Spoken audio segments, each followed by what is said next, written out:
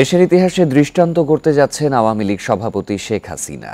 টানা আটবারের মতো হয়েছেন সংসদ সদস্য। এরই মধ্যে তাকে প্রধানমন্ত্রী পদে নিয়োগের সিদ্ধান্ত দিয়েছেন রাষ্ট্রপতি। এতে টানা চার আর সব মিলিয়ে পঞ্চমবারের মতো সরকার গঠন ও দেশ পরিচালনার দায়িত্ব নিতে যাচ্ছেন বঙ্গবন্ধু কন্যা। গড়তে যাচ্ছেন সবচেয়ে বেশিবার সরকার গঠনের রেকর্ডও।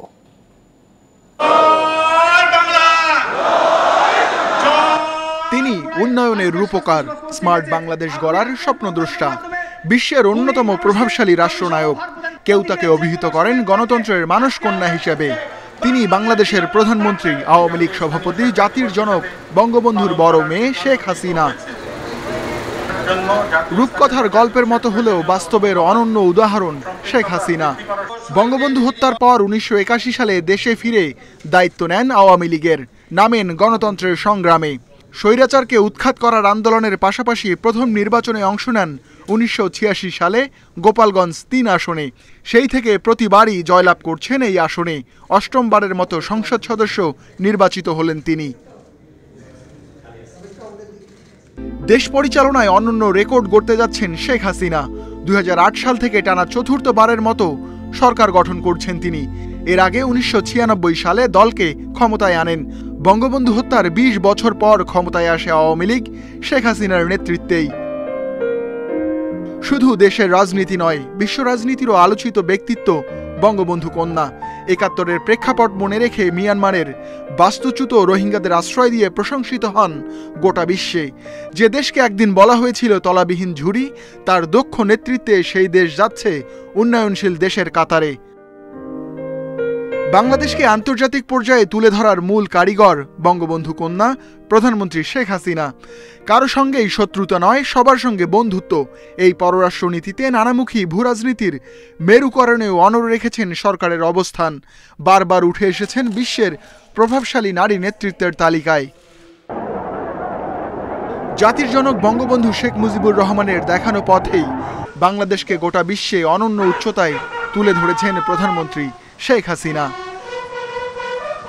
Ruhul Amin, independent news, Dhaka. প্রধানমন্ত্রী শেখ হাসিনার নেতৃত্বে পঁচিশ মন্ত্রী ও এগারো প্রতিমন্ত্রী বঙ্গভবনে শপথ নেবেন আজ। রাষ্ট্রপতি মোহাম্মদ শাহাবুদ্দিন সন্ধ্যা সাতটায় তাদের শপথ পাঠ করাবেন। বুধবার রাতে এক ব্রিফিংয়ে এই তথ্য জানান মন্ত্রিপরিষদ সচিব। শপথ নেওয়ার পর তাদের দপ্তর বন্টন করা হবে। গতবারের মন্ত্রিসভা থেকে এবার বাদ পড়েছেন আঠাশ জন, মন্ত্রিসভায় নতুন মুখ উনিশ জন। দ্বাদশ জাতীয় সংসদে নতুন সরকারের মন্ত্রিপরিষদ সদস্য হিসেবে ছত্রিশ জনের নাম ঘোষণা করেছে মন্ত্রিপরিষদ বিভাগ। বুধবার রাতে সচিবালয়ে মন্ত্রিপরিষদ সচিব মোহাম্মদ মাহবুব হোসেন এ ঘোষণা দেন। এতে প্রধানমন্ত্রী শেখ হাসিনা ছাড়াও পঁচিশ মন্ত্রী ও এগারো প্রতিমন্ত্রীর নাম ঘোষণা করেন।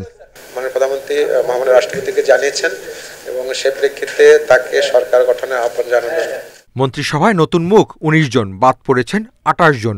মন্ত্রী হিসেবে শপথ নিতে আমন্ত্রণ পেয়েছেন ওবায়দুল কাদের, আসাদুজ্জামান খান, আনিসুল হক, ডাক্তার দীপু মনি, নাজমুল হাসান, তাজুল ইসলাম, হাসান মাহমুদ, জাহাঙ্গীর কবির নানক ও ফরাদ হোসেন সহ পঁচিশ জন। স্থপতি ইয়াফেস ওসমান সামন্তলাল সেন টেকনোক্র্যাট মন্ত্রী হিসেবে শপথ নেবেন। তবে সন্ধ্যা সাতটার সময় মহামান্য রাষ্ট্রপতি প্রথম মাননীয় প্রধানমন্ত্রীকে শপথ পাঠ করাবেন। তারপর মাননীয় মন্ত্রীগণকে শপথ পাঠ করাবেন। তারপর মাননীয় প্রতিমন্ত্রী গণকে শপথ বাক্য পাঠ করাবেন। এগারো প্রতিমন্ত্রীর মধ্যে নসরুল হামিদ জুনায়দ আহমেদ পলক খালিদ মাহমুদ চৌধুরী জাহিদ ফারুক গত মন্ত্রিসভায় ছিলেন। নতুন প্রতিমন্ত্রী হিসেবে যুক্ত হচ্ছেন সিমিন হোসেন মোহাম্মদ এ আরাফাত মহিবুর রহমান কুজেন্দ্র লাল ত্রিপুরা রুমানা আলী শফিকুর রহমান আহসানুল ইসলাম। প্রতিমন্ত্রীর তালিকা পেয়েছি এগারো জনের। সন্ধ্যা সাতটায় তাদেরকে সকলকে শপথ গ্রহণ অনুষ্ঠানে আমি আমন্ত্রণ জানিয়েছি। শপথের পর নতুন মন্ত্রী ও প্রতিমন্ত্রীদের দপ্তর বন্টন করে প্রজ্ঞাপন জারি হবে বলে জানিয়েছেন মন্ত্রিপরিষদ সচিব। Hasib Mahmud Shah independent news, Dhaka. Awami League সভাপতি শেখ হাসিনাকে প্রধানমন্ত্রী পদে নিয়োগের সিদ্ধান্ত দিয়েছেন রাষ্ট্রপতি মোহাম্মদ শাহাবুদ্দিন। একই সঙ্গে তার নেতৃত্বে নতুন মন্ত্রিসভা গঠনের অনুমতিও দিয়েছেন তিনি। বুধবার রাষ্ট্রপতির আদেশক্রমে মন্ত্রিপরিষদ সচিব স্বাক্ষরিত এক প্রজ্ঞাপনে বিষয়টি জানানো হয়। এতে বলা হয়, রাষ্ট্রপতি দেশের সংবিধান অনুযায়ী দ্বাদশ জাতীয় সংসদের সংখ্যাগরিষ্ঠ সদস্যদের আস্থাভাজন সংসদ সদস্য শেখ হাসিনাকে প্রধানমন্ত্রী পদে নিয়োগের সিদ্ধান্ত প্রদান করেছেন। তার নেতৃত্বে নতুন মন্ত্রিসভা গঠনের জন্য সম্মতি জানানো হয়েছে। এছাড়া নতুন মন্ত্রিসভা গঠনের সঙ্গে সঙ্গে বর্তমান মন্ত্রিসভা ভেঙে দেয়া হয়েছে বলে গণ্য হবে বলেও উল্লেখ করা হয় প্রজ্ঞাপনে।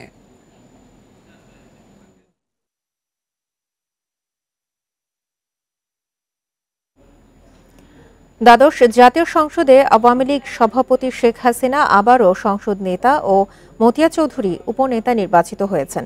বর্তমান স্পিকার ও ডেপুটি স্পিকার নিজ নিজ পদে আবারও মনোনয়ন পেয়েছেন। বুধবার দুপুরে জাতীয় সংসদ ভবনে আওয়ামী লীগের সংসদীয় দলের প্রথম সভায় সর্বসম্মতিক্রমে এই সিদ্ধান্ত নেওয়া হয়। দ্বাদশ জাতীয় সংসদ নির্বাচনে নির্বাচিত সংসদ সদস্যদের শপথের আয়োজন। নির্ধারিত সময় বুধবার সকাল দশটার আগে জড় হন সংসদ সদস্যরা। নিরঙ্কুশ জয়ের পর শপথ নিয়ে বেলা বারোটার দিকে সংসদীয় দলের সভায় যোগ দেন আওয়ামী লীগের সংসদ সদস্যরা। সভায় আওয়ামী লীগের সাধারণ সম্পাদক ওবায়দুল কাদের, সংসদ নেতা হিসেবে শেখ হাসিনার নাম প্রস্তাব করেন। নুরি আলম চৌধুরী লিটন প্রস্তাবে সমর্থন জানান। সর্বসম্মতিক্রমে তা গৃহীত হয়। পঞ্চমবারের মতো সংসদ নেতা নির্বাচিত হন শেখ হাসিনা। সংসদ নেতা নির্বাচনের পাশাপাশি বৈঠকে সংসদ উপনেতাও নির্বাচন করা হয়। একাদশ জাতীয় সংসদের উপনেতা বেগম মতিয়া চৌধুরীকে দ্বাদশ জাতীয় সংসদেও উপনেতা নির্বাচন করা হয়।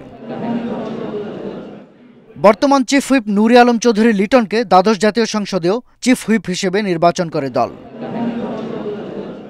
এছাড়া স্পিকার শিরিন শারমিন চৌধুরী ও ডেপুটি স্পিকার শামসুল হক টুকুকে একই পদে আবারও মনোনয়ন দেয় আওয়ামী লীগের সংসদীয় দল।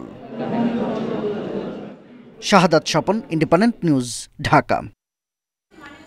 শপথ নিয়েছেন দ্বাদশ সংসদের নবনির্বাচিত সংসদ সদস্যরা। বুধবার জাতীয় সংসদ ভবনের শপথ কক্ষে পর্যায়ক্রমে দুশো সাতানব্বই জন এমপিকে শপথ পাঠ করান একাদশ সংসদের স্পিকার ডক্টর শিরিন শারমিন চৌধুরী।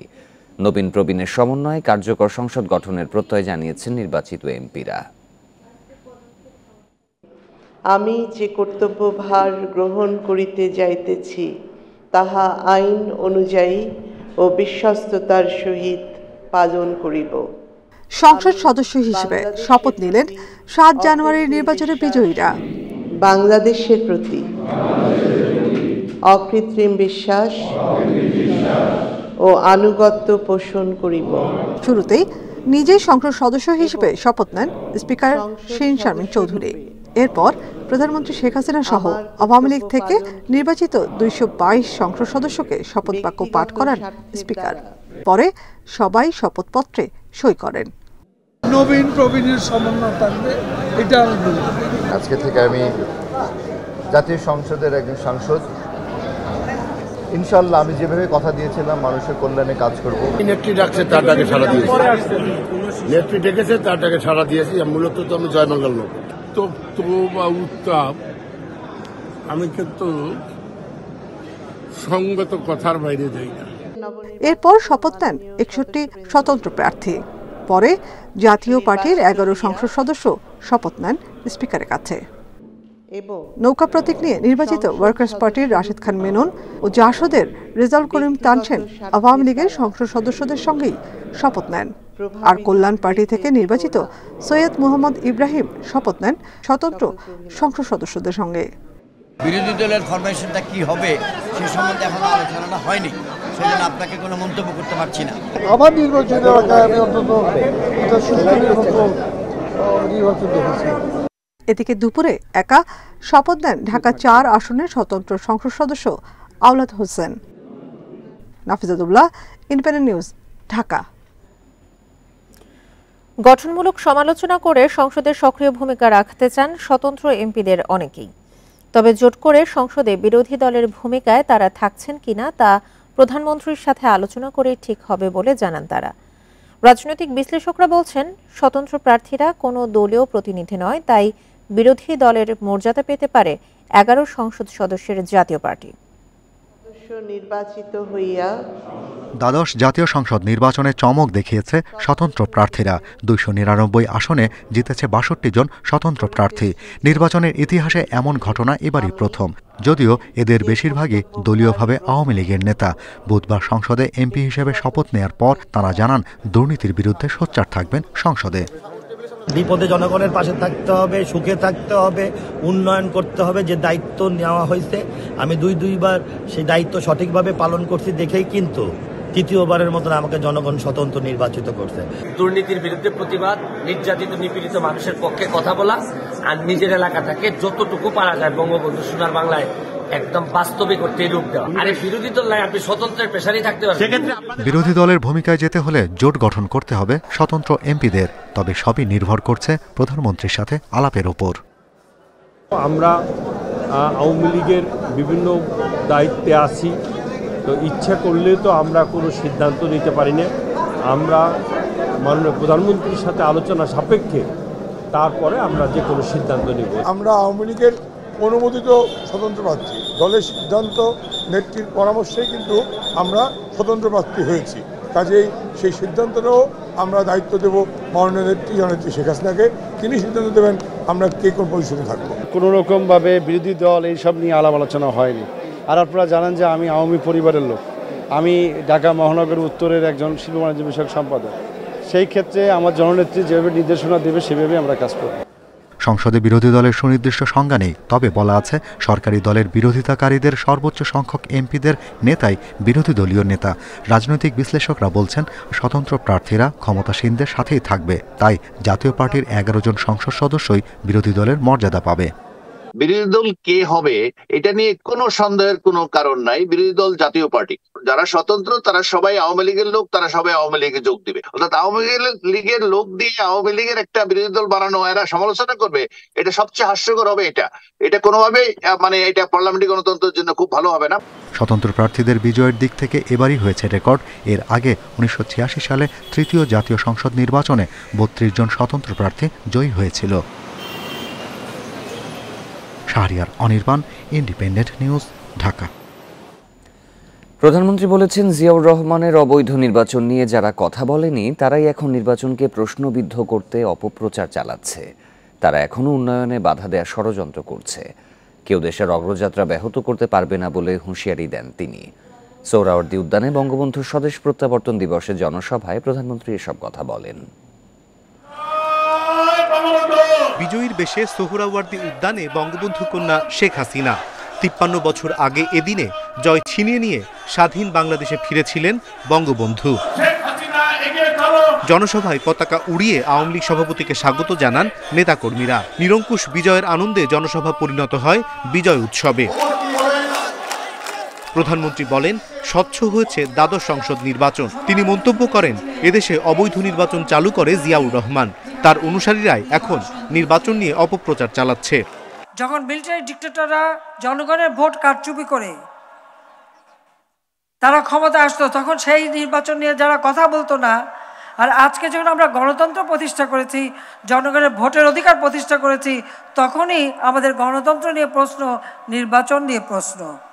যখন নির্বাচন মানেই ছিল দশটা হুন্ডা, বিশটা গুন্ডা, নির্বাচন ঠান্ডা। আজকে আর সেই অবস্থা নেই। জনগণের ভোটের অধিকার জনগণের হাতে আমরা ফিরিয়ে দিয়েছি। সব বাধা উপেক্ষা করে নির্বাচনে অংশগ্রহণ করায় জনগণের প্রতি কৃতজ্ঞতা জানান প্রধানমন্ত্রী। বলেন দেশের অগ্রযাত্রায় আর কেউ বাধা হতে পারবে না।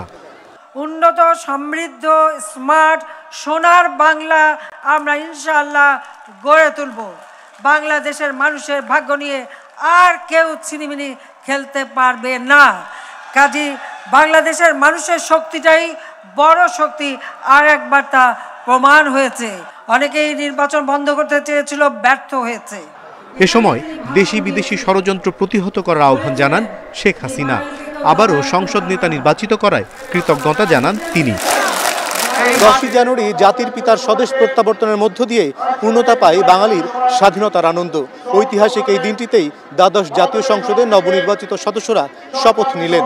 নিরঙ্কুশ এই বিজয়ের আনন্দকে অর্থবহ করতে সব দ্বন্দ্ব বিভেদ ভুলে দলের নেতাকর্মীদের দেশের জন্য ঐক্যবদ্ধভাবে কাজ করার আহ্বান জানালেন আওয়ামী লীগ সভাপতি প্রধানমন্ত্রী শেখ হাসিনা। অনিমেষ কর, ইন্ডিপেন্ডেন্ট নিউজ, ঢাকা। নৌকা প্রতীক পেয়েও স্বতন্ত্র প্রার্থীর কাছে ধরাশায়ী হয়েছেন রাজশাহী সদরের তিনবারের সংসদ সদস্য ফজলে হোসেন বাদশাহ। ওয়ার্কার্স পার্টির অভিযোগ, আওয়ামী লীগের পূর্ণাঙ্গ সমর্থন না পাওয়ায় এই অবস্থা। তবে আওয়ামী লীগ নেতারা দলের সাথে দূরত্ব এবং ওয়ার্কার্স পার্টির সুসংগঠিত না হতে পারাকেই দুষছেন। দু হাজার আট সাল থেকে দুহাজার আঠারো সাল পর্যন্ত টানা তিনবার সংসদ সদস্য নির্বাচিত হন ওয়ার্কার্স পার্টির সাধারণ সম্পাদক ফজলে হোসেন বাদশাহ। তবে দ্বাদশ সংসদ নির্বাচনে স্বতন্ত্র প্রার্থী আওয়ামী লীগ নেতা শফিকুর রহমানের কাছে পরাজিত হন তিনি। এবারে নির্বাচনে আওয়ামী লীগের পূর্ণ সমর্থন পাননি ওয়ার্কার্স পার্টি। এমনটাই অভিযোগ দলের নেতাদের। তবে আওয়ামী লীগ নেতারা বলছেন, দীর্ঘদিন ক্ষমতায় থাকার পরও দলটি সুসংগঠিত না হতে পারা এবং তৃণমূল আওয়ামী লীগ থেকে নিজেদের সরিয়ে রাখার জন্যই ওয়ার্কার্স পার্টির এই পরাজয়। আওয়ামী লীগের একটা অংশ সরাসরি বিরোধিতা করেছে। পাশাপাশি এখানে সিটি কর্পোরেশনের যারা কাউন্সিলর, কিছু কাউন্সিলর বাদে তারাও এই ষড়যন্ত্রের অংশ হিসাবে কাজ করেছে। যার কারণে এইবারের পরাজয় আমাদেরকে মেনে নিতে হয়েছে। বড় ধরনের শক্তি যেটি আওয়ামী লীগের আমি যেটি মনে করি যে আওয়ামী লীগের নীতি নির্ধারক যিনি তেনার একেবারেই পদ্মার অন্তরালে থেকে যা যা করণীয় তাই তাই মানে নৌকার ফেলের জন্য তাই তাই করা হয়েছে সেটাও কিন্তু আমরা লক্ষ্য করে দেখেছি এবং রাজশাহীবাসী দেখেছে। ভোটাররা জানান ওয়ার্কার্স পার্টির বাদশাহ একজন জনবিচ্ছিন্ন নেতা। আগামী পনেরো বছরের ভিতরে তার কোনো উন্নয়ন আমরা দেখতে পাইনি আর তাকেও কোনো দিন আমরা শহরে দেখতে পাইনি। তিনি সবসময় একগুছায় রাজনীতি করতেন। নির্বাচনে এমন পরাজয় দলটিতে ভাঙন ধরাতে পারে বলে মনে করেন রাজনৈতিক বিশ্লেষকরা। মূল বৃহৎ দুটি দল তাদের বাইরে গিয়ে বা তাদের মার্কা ব্যবহার না করে তাদের নিজস্ব মার্কা ব্যবহার করে বা পদ প্রতীক ব্যবহার করে জিতে আসার মতো কোনো সক্ষমতা এই মুহূর্তে দেশে দৃশ্যমান নয়। দ্বাদশ জাতীয় নির্বাচনে নৌকা প্রার্থী ফজলে হোসেন বাদশাহ, স্বতন্ত্র প্রার্থী শফিকুর রহমানের কাছে তেইশ হাজার চারশো চল্লিশ ভোটের ব্যবধানে পরাজিত হন। Mustafizur Rahman, independent news, Rajshahi. দুর্নীতি, স্বজনপ্রীতি ও এলাকাবাসীর সঙ্গে যোগাযোগ না থাকায় দ্বাদশ সংসদ নির্বাচনে পরাজিত হন মানিকগঞ্জ এক আসনের মমতাজ বেগম এবং শেরপুর এক আসনের আতিউর রহমান আতিক। এলাকার উন্নয়ন না করায় নৌকা প্রতীক নিয়েও হেরে যান তারা। মানিকগঞ্জ দুই আসনে টানা তিনবার সংসদ সদস্য ছিলেন কণ্ঠশিল্পী মমতাজ বেগম। তবে এবারের নির্বাচনে মমতাজের চেয়ে ছয় হাজার একশো একাত্তর ভোট বেশি পেয়ে বিজয়ী হয়েছেন স্বতন্ত্র প্রার্থী দেওয়ান জাহিদ আহমেদ টুলু। এ নিয়ে চলছে নানা আলোচনা সমালোচনা। মমতাজের পারিবারিক দ্বন্দ্ব ভোটারদের আস্থা অর্জনে ব্যর্থতা এবং সিনিয়র নেতাকর্মীদের সঙ্গে সুসম্পর্ক না থাকাই পরাজয়ের অন্যতম কারণ বলে মনে করছে সুশীল সমাজ। যেখান থেকে তার উঠে আসা, সেখানে সে ছিল না। এবং সে উঠে আসে সে মনে করছে যে তার প্রভাব প্রতিপত্তি অর্থ দিয়ে সে জিতবে। সেখানে সে ফেল করছে। দ্বন্দ্বের কারণেই একটি অংশ তার পক্ষে নির্বাচনে আসলে সরাসরি ভূমিকা রাখে নাই। যার কারণে দলীয় নেতাকর্মীদের মধ্যে একটি মানে মানে প্রভাব পড়েছে ভোটারদের মধ্যে একটি প্রভাব পড়েছে। পরপর পাঁচবার সংসদ সদস্য এবং দুইবার জাতীয় সংসদের হুইপ ছিলেন। শেরপুর একাশনের আতিউর রহমান আতিক। একই সাথে দলের সিনিয়র ও ত্যাগী নেতাকর্মীদের সরিয়ে সব জায়গায় বসান নিজের পছন্দের লোকজন। দ্বন্দ্বে জড়ান বেগম মতিয়া চৌধুরীর সাথে। এতে ক্ষুব্ধ হন দলের নেতাকর্মীরা। এছাড়া অভিযোগ আছে ঘুষ বাণিজ্যের। এই সুযোগে বঞ্চিতরা ঐক্যবদ্ধ হয়ে স্বতন্ত্র প্রার্থী সানোয়ার হোসেন সানুর পক্ষে অবস্থান নেন। বঙ্গবন্ধুর আদর্শ সৈনিক তারা কোনো শেরপুরে কোনো মূল্যায়ন পায় নাই। একচ্ছত্র আধিপত্য বিস্তার করতে যে উনি এত বেশি খারাপ কাজ করেছেন যার হিসাব দিতে আমরা মানে পারব না। নির্বাচনে সানোয়ার হোসেন ভোট পান এক লাখ ছত্রিশ হাজার তিরানব্বইটি আর আতিউর রহমান পেয়েছেন তিরানব্বই হাজার সাঁত্রিশ vote. Soheli Jahan, independent news. মূল্যস্ফীতি নিয়ন্ত্রণ করে অর্থনীতির গতি পুনরুদ্ধার করাই হবে নতুন সরকারের প্রধান চ্যালেঞ্জ।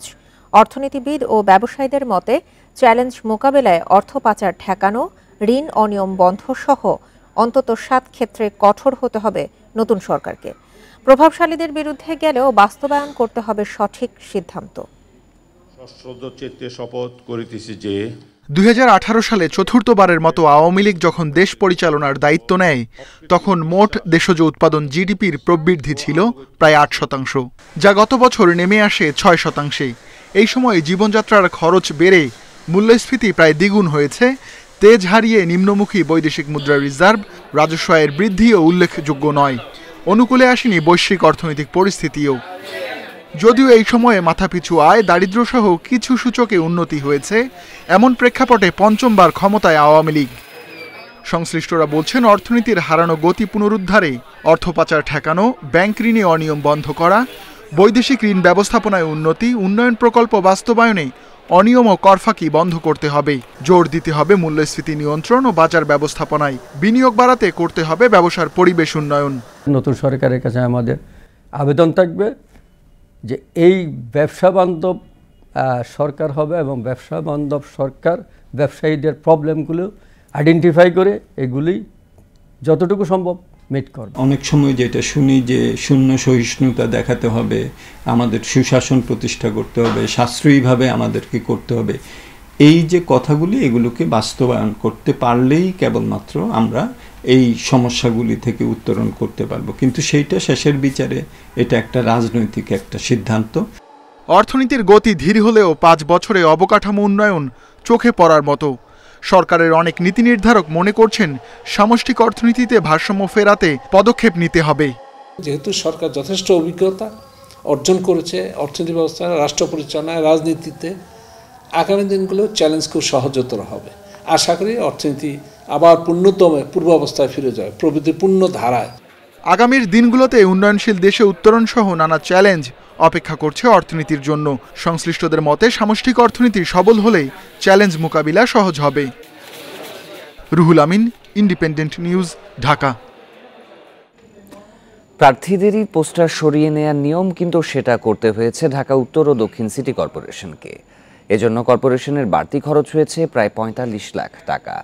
কর্মকর্তাদের অভিযোগ, পোস্টার সাঁটানোতে বিধি না মানায় অপসারণ করতে বিপত্তি হয়েছে। এছাড়া লেমিনেশন করায় পোস্টার ধ্বংস করতেও কষ্ট হয়েছে। নির্বাচন ঘিরে পুরো শহর ছেয়ে যায় প্রার্থীদের পোস্টারে।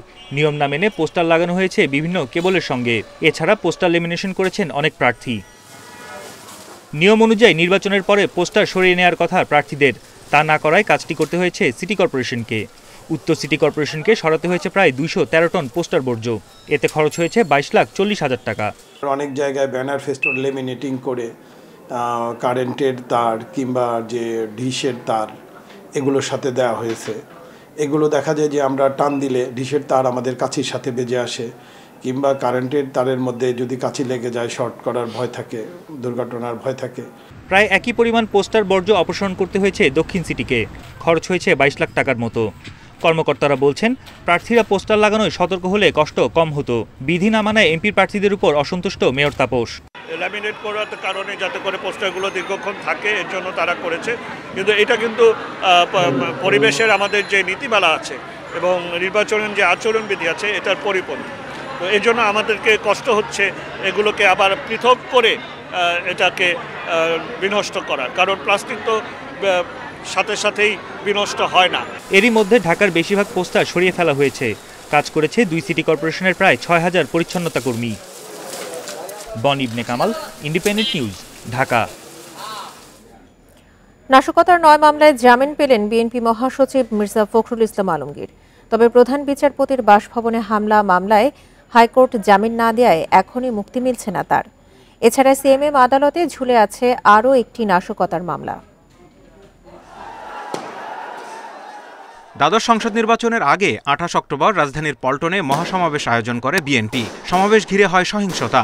পুলিশের সাথে সংঘর্ষ, আগুন, গাড়ি ভাঙচুর সহ হামলা হয় প্রধান বিচারপতির বাড়িতে। এসব ঘটনায় বিএনপি মহাসচিব মির্জা ফখরুলের বিরুদ্ধে রমনা ও পল্টন থানায় এগারোটি মামলা হয়। পরদিন উনত্রিশ অক্টোবর গুলশানের বাসা থেকে গ্রেপ্তার হন মির্জা ফখরুল। উচ্চ আদালতের নির্দেশে দুদিনের জামিন শুনানি শেষে বুধবার দুপুরে নয় মামলায় জামিন দেন ঢাকার অতিরিক্ত মেট্রোপলিটন ম্যাজিস্ট্রেট সুলতান সোহাগুদ্দিন। অসুস্থতা বিবেচনায় এবং তার বিরুদ্ধে কোনো- সুনির্দিষ্ট অভিযোগ না থাকায় দরখাস্ত মির্জা ফখরুল ইসলাম আলমগীর, মহাসচিব বাংলাদেশ জাতীয়তাবাদী দল, ওনাকে দশ হাজার টাকা বন্ডে নয়টি মামলায় জামিন দিয়েছেন। একই দিন প্রধান বিচারপতির বাসভবনে হামলার আরেক মামলায় বিএনপি মহাসচিবের জামিন নামঞ্জুর করে এ সংক্রান্ত রুল খারিজ করেন হাইকোর্ট। বিএনপির মহাসচিব আজকের এই পিটিশনার উনি সমাবেশের মঞ্চ মঞ্চস্থলে উপস্থিত হন তার পরপরই এই অকারণগুলো সংঘটিত হয়। তাই আমরা কোর্টকে উপস্থাপন করেছি। সর্বোচ্চ আদালতে আমরা যে আশা করেছিলাম হাই অনারেবল হাইকোর্ট ডিভিশনে সেই রকম আমরা আশাহত হয়েছি এবং আমাদেরকে এই মামলায় নর্মালি বেল রিজেক্ট করবে এটা আমরা কখনো চিন্তা করি নাই। নয় মামলায় জামিন পেলেও এখনও দুটি মামলায় জামিন না মেলায় এখনই কারাগার থেকে মুক্তি পাচ্ছেন না মির্জা ফখরুল ইসলাম আলমগীর। জাহিদুল বাসার ইন্ডিপেন্ডেন্ট নিউজ ঢাকা। পাঁচ মাস পর হাসপাতাল থেকে বাসায় ফেরার অনুমতি পেলেন বিএনপি চেয়ারপারসন খালেদা জিয়া। আজ বিকেলে হাসপাতাল ছাড়তে পারেন তিনি। এবার কেয়ার হাসপাতালে দীর্ঘ সময় ধরে চিকিৎসাধীন খালেদা জিয়াকে মেডিকেল বোর্ডের পরামর্শে সাময়িকভাবে বাসায় যাওয়ার ছাড়পত্র দেয়া হয়েছে। বিএনপি চেয়ারপারসনের ব্যক্তিগত চিকিৎসক ও মেডিকেল বোর্ডের সদস্য অধ্যাপক A Z M Zahid Hossain জানান, বৃহস্পতিবার বিকেলেই খালেদা জিয়াকে গুলশানে নিয়ে যাওয়া হবে। মেডিকেল বোর্ডের পরামর্শেই সাময়িক সিদ্ধান্ত। গুলশানের বাসায় মেডিকেল বোর্ডের অধীনেই তার চিকিৎসার সব প্রস্তুতি নেওয়া হয়েছে। গত বছরের নয় আগস্ট অসুস্থতা বাড়ায় এবার কেয়ার হাসপাতালে ভর্তি করা হয় খালেদা জিয়াকে। আটাত্তর বছর বয়সী সাবেক প্রধানমন্ত্রী আর্থ্রাইটিস, হৃদরোগ, ফুসফুস, লিভার, কিডনি, ডায়াবেটিস সহ নানা রোগে ভুগছেন।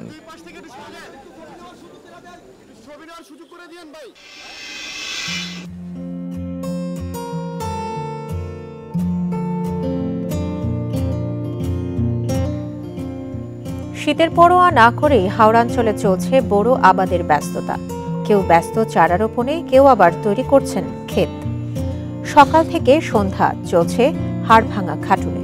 বাজারে ধানের দাম ভালো থাকায় আবাদে বেড়েছে আগ্রহ। তবে ডিজেল ও কীটনাশকের দাম বেশি থাকায় উৎপাদন খরচ নিয়ে শঙ্কায় কৃষক।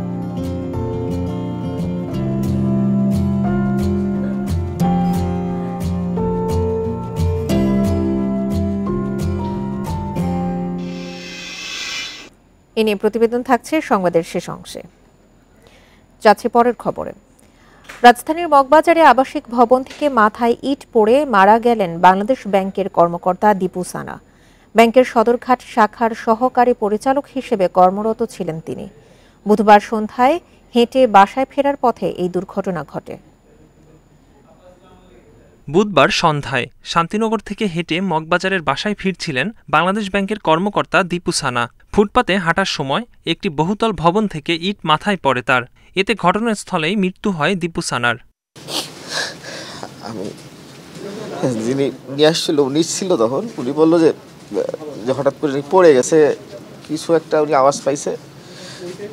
তারপরে উনি ধর ওখান থেকে নাকি এখানে নিয়ে আসছে আসার পরে নাকি ডাক্তার বলল যে না আসার পরে আর কোনো রকম কিছু ছিল না। সানার অপ্রত্যাশিত মৃত্যু মেনে নিতে পারছেন না স্বজন সহকর্মীরা। ঘটনার সুষ্ঠু তদন্তের দাবি তাদের। পুলিশের একটা তদন্ত চলছে ঠিকমতো যদি আমরা যদি বুঝতে পারি যে আসলে এটা কোনো কেউ করেছে তাহলে ডেফিনেটলি আমরা তার বিচার চাই এবং তার জন্য কঠিন শাস্তি হয় এবং ফিউচারে যেন এ ধরনের ঘটনা আর না ঘটে। যে তার একটা শিশু বাচ্চা আছে মাসুম বাচ্চা দুই আড়াই বছর বয়স পেয়েছেন এটাও আমরা বিশেষ করে প্রশাসন এরপরে তারা দৃষ্টি দিবে। পরে দীপু সানার মরদেহ ময়নাতদন্তের জন্য নেওয়া হয় ঢাকা মেডিকেল কলেজ মর্গে। তার মৃত্যুর ঘটনায় পরিবারের পক্ষ থেকে থানায় ডায়েরি করা হয়েছে। ঘটনাটি খতিয়ে দেখার কথা জানিয়েছে পুলিশ। তিন বছরের একটি ছেলে আছে দীপু সানার। ঢাকা বিশ্ববিদ্যালয়ের সমাজবিজ্ঞান বিভাগ থেকে স্নাতকোত্তর সম্পন্ন করেন তিনি। তার গ্রামের বাড়ি সাতক্ষীরায়। Ekramul Islam, independent news, Dhaka. রাজধানীতে ঘটনার সময় চিকিৎসায় অবহেলায় শিশু আয়ানের মৃত্যুর ঘটনায় অভিযুক্তদের আটচল্লিশ ঘণ্টার মধ্যে গ্রেপ্তারের দাবি উঠেছে। না হলে ইউনাইটেড মেডিকেল কলেজ হাসপাতাল ঘেরাওয়ের ঘোষণা দিয়েছে স্বাস্থ্য সুরক্ষা আন্দোলন সংগঠন।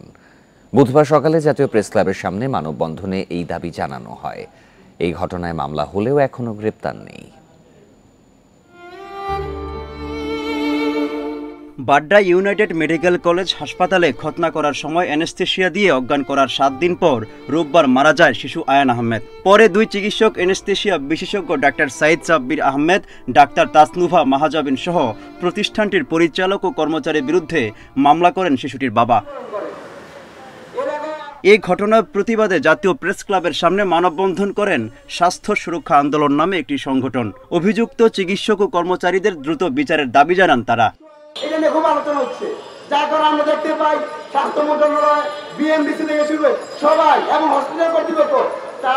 তদন্তের নাম যখনই কেউ থাকে না, যখন অভিভাবকরা ভুক্তভোগীরা রাস্তায় হাঁটতে হাঁটতে ক্লান্ত হয়ে যায় যখন আর কোথাও যাওয়ার সুযোগ থাকে না ঠিক সেই সময় এত এত ফাইলগুলো গায়েব হয়ে যায়। একজন অ্যানেস্থেশিয়া বিশেষজ্ঞ এখন পর্যন্ত জান- বুঝতেই পারল না তাকে কি ধরনের অ্যানেস্থেশিয়া দিলে একটা সন্তানের শূন্যতা খাতা সুন্দরভাবে করানো হবে। পরিবারের অভিযোগ চিকিৎসায় অবহেলায় মারা গেছে শিশু আয়ান। অনুমতি ছাড়া অতিরিক্ত অ্যানেস্থেশিয়া দেওয়ার পাশাপাশি সময় নষ্ট করে হাসপাতাল কর্তৃপক্ষ। ঘোষণা দিল যে আয়ান মৃত্যু। তখন তারা তড়িঘড়িভাবে পাঁচ লক্ষ হাজার একটা একটা বিল ধরাই দিল যে আপনারা তাড়াতাড়ি যান। বিল যখন পারবেন তখন দেবেন। মৃত্যুর জন্য আমরা বিচার চাই। তার দুই ডাক্তারে আমরা ফাঁসি চাই। আমরা অনেক কথা বলতে পারি না, আমরা মর্মাহত। একত্রিশ ডিসেম্বর ইউনাইটেড মেডিকেল কলেজ হাসপাতালে ভর্তির পর টানা সাত দিন লাইফ সাপোর্টে রাখা হয় শিশু আয়ানকে। পরে রোববার মধ্যরাতে তাকে মৃত ঘোষণা করে চিকিৎসক। Mohammad Omar Faruk independent news Dhaka. Russia Ukraine যুদ্ধের পাশাপাশি মধ্যপ্রাচ্য সংকট, ডলার ও ঋণপত্র নিয়ে নানা সমস্যার মাঝেই দু সালে রেকর্ড রাজস্ব আদায় করেছে চট্টগ্রাম কাস্টমস হাউস। কর্তৃপক্ষ বলছে, সংকট থাকলেও সময় মতো বেশ কিছু পদক্ষেপের মাধ্যমে পুরনো বিরোধ নিষ্পত্তির দিকে জোর দিয়েছে তারা। তাই রাজস্ব আদায় বেড়েছে। ব্যবসায়ীদের দাবি এই ধারা বজায় রাখতে হয়রানি কমানোর পাশাপাশি প্রয়োজন পূর্ণাঙ্গ ডিজিটাল সেবা। সদ্য সমাপ্ত বছরে ডলার সংকটে চাহিদা মতো পণ্য আমদানি করতে পারেননি আমদানিকারকরা। বিশেষ করে বিলাসী পণ্য আমদানিতে কড়াকড়ি ছিল বেশি। তবে মে মাস থেকে গতি আসে রাজস্ব আদায়ে। বছরের শেষ পর্যন্তই এই ঊর্ধ্বমুখী গতি বজায় ছিল। দু হাজার বাইশ সালে বাষট্টি হাজার ছেচল্লিশ কোটি টাকা রাজস্ব আদায়ের বিপরীতে দু হাজার তেইশ সালে রাজস্ব আদায় হয়েছে চৌষট্টি হাজার ছয়শো ষোলো কোটি টাকা। এতে রাজস্ব আদায়ের প্রবৃদ্ধি দাঁড়িয়েছে চার দশমিক এক চার শতাংশ। কর্তৃপক্ষ বলছে, এ সময় পুরনো অনেক বিরোধ নিষ্পত্তি করে রাজস্ব আদায়ে জোর দিয়েছে তারা। শুল্ক করাদি ফাঁকির যে বিষয়টি, এই বিষয়টি প্রতিহত করার মাধ্যমে এবং বিগত বৎসরের যে বকেয়া রাজস্ব, সেই রাজস্ব আদায়ের মাধ্যমে এবং মাননীয় আদালত থেকে বিভিন্ন ধরনের যে জাজমেন্ট পাওয়া যায় সরকারের পক্ষে, সেই জাজমেন্টের বিপরীতে যে রাজস্ব অতিরিক্ত, সেই অতিরিক্ত রাজস্ব আদায় করতে কাস্টমার চট্টগ্রাম কর্তৃপক্ষ সক্ষম হয়েছে বিধায় এই অতিরিক্ত রাজস্ব আদায় করা সম্ভব হয়েছে। ব্যবসায়ীরা বলছে, পূর্ণাঙ্গ ডিজিটাল সেবা চালু হলে রাজস্ব আদায় আরও বাড়বে। পাশাপাশি ডলার সরবরাহ ও ঋণপত্র খোলার ব্যাপারে আরও আন্তরিক হতে হবে বাংলাদেশ ব্যাংক এবং সংশ্লিষ্ট মন্ত্রণালয়কে। Five two ten percent examine হওয়ার কথা। সেখানে তিরিশ পার্সেন্ট পঁয়ত্রিশ পার্সেন্ট হচ্ছে। তো এগুলি সবগুলি শুল্কায়ন বিলম্বের কারণ এবং যত বেশি শুল্কায়ন বিলম্ব হবে, তত রাজস্ব আদায় বিলম্বিত হবে। পরীক্ষাগুলিকে অ্যাভয়েড করে অন্য কোনো পদ্ধতিতে পরীক্ষা করবে যেটাতে সময় ক্ষেপণ হয় না। তো সেইভাবে কিন্তু কাস্টমসের ব্যবস্থা নেওয়া উচিত। দেশের আমদানি রপ্তানির বিরানব্বই ভাগই হয় চট্টগ্রাম বন্দর দিয়ে। যার বেশিরভাগের শুল্কায়ন হয় চট্টগ্রাম কাস্টমস হাউসে অনুপম শীল ইন্ডিপেন্ডেন্ট নিউজ চট্টগ্রাম। শিগগিরই মোবাইল রিচার্জের ন্যূনতম সীমা নির্ধারণ করবে টেলিযোগাযোগ নিয়ন্ত্রক সংস্থা বিটিআরসি। এজন্য টেলিকম অপারেটরদের সঙ্গে আলোচনায় বসবে সংস্থাটি। বিশ্লেষকেরা বলছেন রিচার্জের ন্যূনতম সীমা বাড়ানো হলে নেটওয়ার্কের বাইরের জনগোষ্ঠী টেলিকম সেবা গ্রহণে আগ্রহ হারাবে। মোবাইল রিচার্জে সর্বনিম্ন সীমা বাড়ানোর সিদ্ধান্ত নেয় দেশের সবগুলো টেলিকম অপারেটর। শুরুতেই গ্রামীণ ফোন রিচার্জের সর্বনিম্ন সীমা দশ টাকা বাড়িয়ে ত্রিশ টাকা নির্ধারণ করে। এটা যেহেতু কোনো প্রোডাক্ট অ্যান্ড সার্ভিসের মধ্যে পড়ে না সুতরাং এখানে পূর্বানুমতির কোনো ব্যাপার নেই। আহ, এবং এই তিরিশ টাকা মিনিমাম চার্জের ব্যাপারটা হচ্ছে আপনি যদি এটা অপারেটাররা এটা নিতে না পারে, তাহলে অপারেটাররা সাস্টেনেবল করতে পারবে না ক্যাপাসিটি বাড়াতে পারবে না, আমি আমার ইনভেস্টমেন্টটাও এনশিওর করতে পারব না। তবে রিচার্জের ন্যূনতম সীমা বাড়ানোর ঘোষণা দিলেও বাস্তবায়নের আগেই সরে আসে গ্রামীণ ফোন।